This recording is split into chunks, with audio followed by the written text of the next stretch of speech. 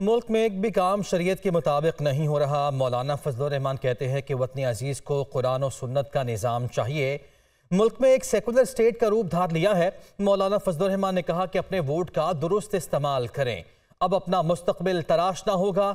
शहर सुल्तान में वो जलसे से खिताब कर रहे थे। उन्होंने कहा कि इस दौर में आपके हाथ में पर्ची आई है। मौलाना फजल रहमान ने यह भी कहा कि पर्ची पर किताब का निशान होगा, उस पर मोहर लगाएँ। मुल्क में एक सेकुलर स्टेट का रूप धार लिया है। मौलाना फजल रहमान ने कहा कि अपने वोट का दुरुस्त इस्तेमाल करें। अब अपना मुस्तबिल तराशना होगा। शहर सुल्तान में वो जलसे से खिताब कर रहे थे। उन्होंने कहा कि इस दौर में आपके हाथ में पर्ची आई है। मौलाना फजल रहमान ने यह भी कहा कि पर्ची पर किताब का निशान होगा, उस पर मोहर लगाएँ। मुल्क में एक सेकुलर स्टेट का रूप धार लिया है। मौलाना फजल रहमान ने कहा कि अपने वोट का दुरुस्त इस्तेमाल करें। अब अपना मुस्तबिल तराशना होगा।